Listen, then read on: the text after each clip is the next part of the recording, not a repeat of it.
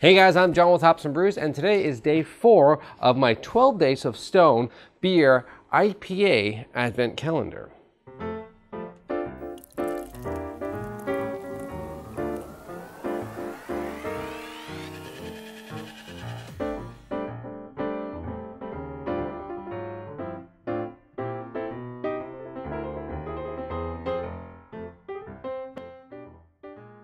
So let's see what day four has to offer us.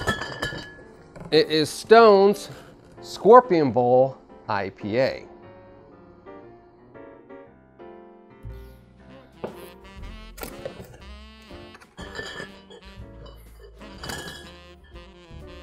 Hmm. Well, it's clear in the bottle. Oh yes. This beer comes in at a 7.5% ABV, a 76 IBUs. It gets an average rating on Untappd of 3.72. To create a recipe so tropical and fruity with, without additions of fruit was no feat our team of brewers would leave up to the gods. They took floral and citrus notes of mosaic, Loral and Mandarin Bavarian hops to dish up mouth-watering fruit punch to the palate. Get deserted on your own island or share with others. One thing is for sure, there's no need to light this one. This is already on fire. That is a very pretty looking beer. It is gold in color. It is wonderfully carbonated. It's got this nice stream of bubbles just coming from the center. Um, very nice white head, super finely packed like soap again.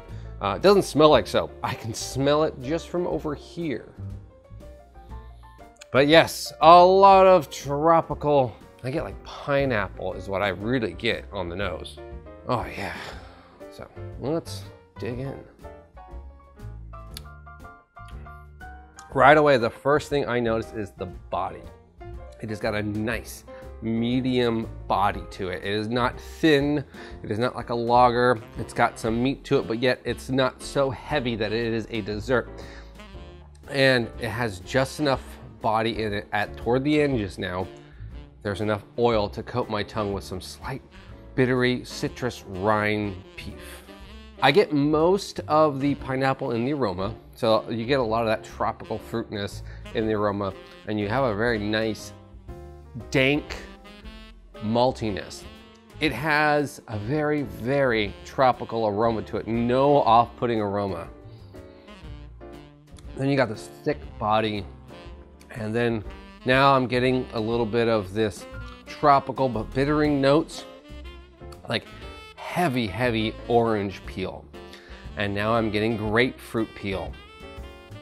And now I'm getting these nice, grassy, oily notes coating my tongue.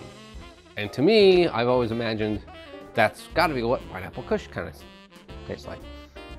At least I hope. But this is a fantastic beer. It is definitely not one of your big fruited beers. There's no fruit in this, and it's definitely not going to be one of those, I taste all these tropical notes. No, this is one of those beers that where they really accent the hop variety in it to let you see that these green little cone-shaped plants have very fruity notes to them. Yes, you're gonna taste that they're green bittering plants, but you are so surprised that, that these little green cone-shaped things can remind you of these sweet tropical candy-like fruits that we take for granted and think are for desserts or treats. I really enjoy this beer. I, I take a lot of these stone beers, I think, for granted. And once you kind of got used to all these big hazy beers and jammy sours and barrel aged beers, especially during the winter time, you kind of forget the old IPAs that you want to remember to always want in your fridge. This is a beer you kind of always want in your fridge as just, I want to drink and I want an IPA. I want the sweeter end of the IPA spectrum you kind of almost need a few of those type of beers in your fridge, I think. And this is definitely one of those.